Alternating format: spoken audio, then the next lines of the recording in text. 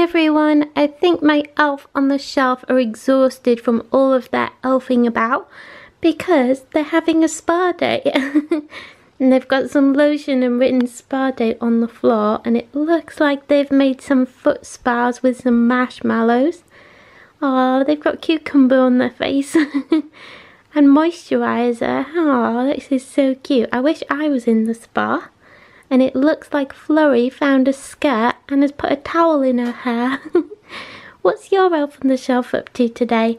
Please comment below to let me know and don't forget to give the video a big thumbs up if you enjoy it and be sure to subscribe to my channel to find out what my elf on the shelf get up to next. I'll see you all again very soon. Bye guys!